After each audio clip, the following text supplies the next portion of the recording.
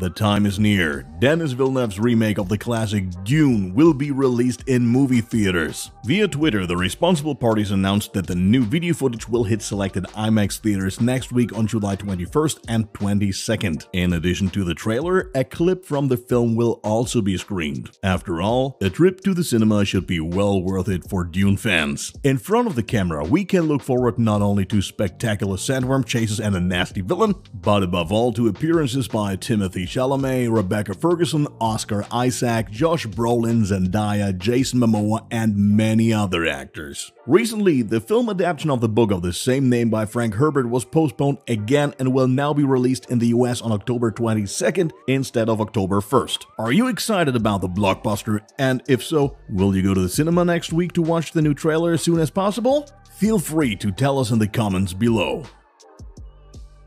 Let's move on to the MCU characters who will appear in Doctor Strange in the Multiverse of Madness. Now that it's clear that Wanda Maximoff, alias Scarlet Witch, will be joining Doctor Strange in his second solo film, the cast now also includes Tom Hiddleston and his character Loki. You should skip the following if you haven't seen the season finale of Loki yet due to major spoiler alert. In episode 6, arriving at the end of time and space, Loki along with Sylvie meets Nathaniel Richards aka Kang. The scientist from the 3rd millennium AD is the founder of the Time Variance Authority, TVA for short, which was created to protect the real timeline against undesired manipulation. Not without reason, since in other timelines, Kang is known by his nickname The Destroyer rather than as a responsible scientist. Unlike his evil self, Richard doesn't want to be a tyrant, which is why he wants to hand over responsibility regarding the real timeline to Loki and Sylvie. However, Sylvie decides to kill the scientist and transport Loki back to the past, opening up the MCU's gigantic multiverse. In addition to the chaos, the new big MCU villain Kang the Destroyer should also make his entrance soon. He will replace Thanos and will even be a bit more powerful than his predecessor as Kang can easily rule over space and time. For the MCU heroes of the upcoming movies, this won't be a piece of cake because due to the open multiverse, you can never tell whether you're facing the good or the bad Kang. In any case, we're looking forward to Tom Hiddleston's appearance in the upcoming Doctor Strange, along with the freshly confirmed second season of Loki, of course. Doctor Strange in the Multiverse of Madness will be released on March 25th, 2022. US superstar Dwayne Johnson has often hinted at the costume of his character Black Adam in the past. A few days ago, he let the cat out of the bag and posted an exclusive picture from the set on Instagram showing him in the center with his new suit. In the post, the 49-year-old also somewhat describes his fancy outfit, saying that it was deliberately not designed like a typical DC or Marvel suit, that is, without any muscle padding. In addition to the small knock on his last train acting colleagues, the strong skin-tight structure and the relatively wide neckline also stand out, highlighting Johnson's muscles optimally. It would have been interesting to see a view from the front since that's the most crucial thing about a superhero suit. In another post, the actor gives us a hint regarding the making of Black Adam as it seems that Johnson's muscles and his suit will be optimized in post-production. In that case, Black Adam would more likely resemble a comic book superhero rather than a cinematic one. We're definitely eager to see the final look and can't wait to see new footage on DC's Black Adam. The movie will be released on July 29, 2022.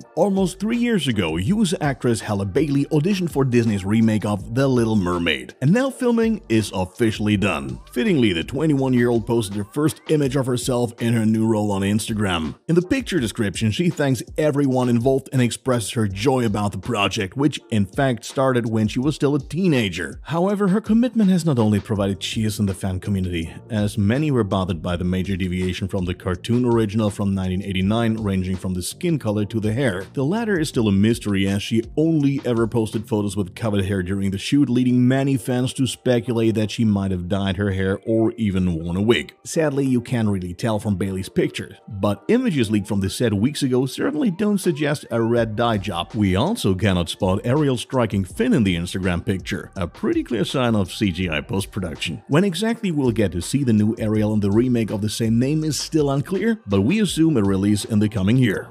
Marvel's long-awaited fourth phase movie Black Widow has recently been released and has been met with mostly positive reviews. One could almost forget that this was Scarlett Johansson's last film as Black Widow as the 36-year-old is now leaving the MCU behind after a decade of success. In addition to her last Marvel movie, however, another internet phenomenon has been causing a sensation as many videos of the Scarlett Johansson lookalike have been circulating on TikTok for some time. If you didn't know any better, you could swear that Scarlett Johansson herself or at least a well done deepfake is involved here. The young woman with a TikTok name Kate Johansson is currently astounding many MCU fans, precisely so because she openly uses the striking resemblance for her videos. In fact, some fans are even speculating that the TikTok user could simply replace Scarlett Johansson in the event that Marvel takes notice of the doppelganger. We disagree though.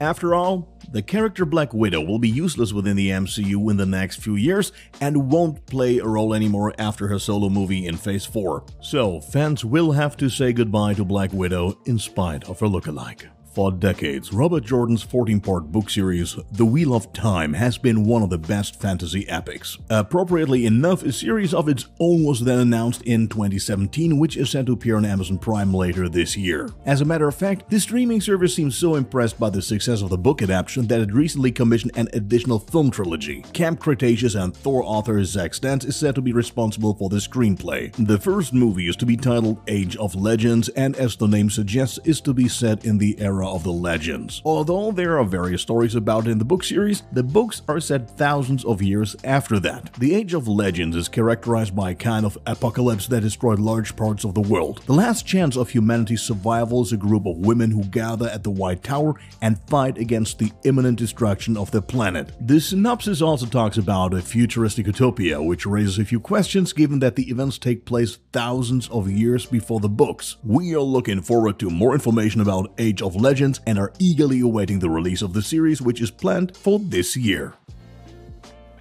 Last year, shooting was concluded in North Carolina and now post-production is also done. The talk is, of course, of the now fifth Scream movie. In line with the project's completion, those responsible published a picture taken in the studio where the final touches were added to the film up until recently. Particularly interesting is that the images also give us a first glimpse of the new serial killer with a world-famous mask. Horror nostalgics and fans of the old films will be pleased to see that the killer wears more or less the same mask as all always in the production. It is still unclear what exactly the plot of the new horror flick will consist of, but at least we know the actors who will be appearing. Known returnees are Neve Campbell as Sidney Prescott, David Arquette as Dewey Riley, Courteney Cox as Gale Weathers, and Marley Shelton as Judy Hicks. New cast members include Melissa Barrera, Jenna Ortega, Jack Quaid, Mason Gooding, Dylan Minnette, and many others. You won't have to wait too long either, since Scream 5 will be released early next year on January 14th, 2020.